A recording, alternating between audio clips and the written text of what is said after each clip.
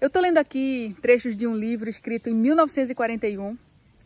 É um diálogo de um jovem demônio com o velho diabo. Vou compartilhar aqui com você esse trecho. Um jovem demônio pergunta: Como você conseguiu enviar tantas almas para o inferno? O velho diabo responde: Com medo. O jovem: Bom trabalho. Do que eles estavam com medo? Da guerra, da fome? O velho: Não, de uma doença. O jovem: eles não ficaram doentes? Eles não estavam morrendo? Não havia cura? O velho. Adoeceram, morreram e teve cura. O jovem. Eu não entendi. O velho responde.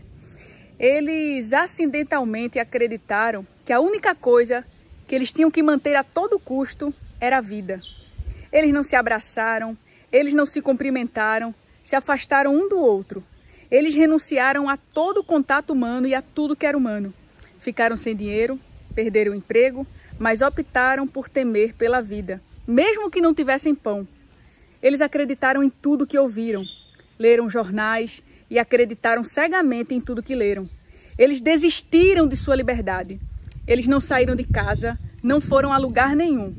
Eles não visitavam parentes e amigos. O mundo se transformou em um grande campo de concentração, com prisioneiros voluntários. Eles aceitaram tudo só para sobreviver a outro dia miserável.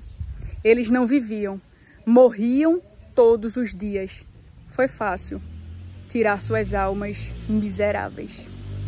Deixa eu dar um conselho aqui para você. Não ame tanto a vida ao ponto de deixar de viver. Deputada estadual Clarissa Tércio.